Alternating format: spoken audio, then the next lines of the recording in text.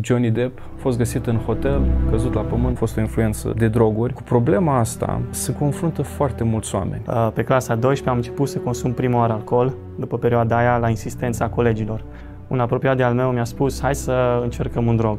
Pentru mine drogul, să zic, e cea mai frumoasă minciună a diavolului, așa o numesc eu. Era o doamnă care mă aștepta pe scări acolo. Și ea mă apucă de mână așa ca o mamă și îmi zice, Dumnezeu te iubește și nu te părăsește. Și nu cunoșteam pe femeia, nu știam cine e. Ai consumat mulți bani? Pe drogurile astea? Uh, aproape 5 ani de zile am locuit în Elveția și acolo aveam un serviciu destul de bun și un venit destul de bun. Și uh, în toată perioada aia toți banii mei se duceau pe distracții, pe droguri, am consumat și eu foarte mult bani al meu.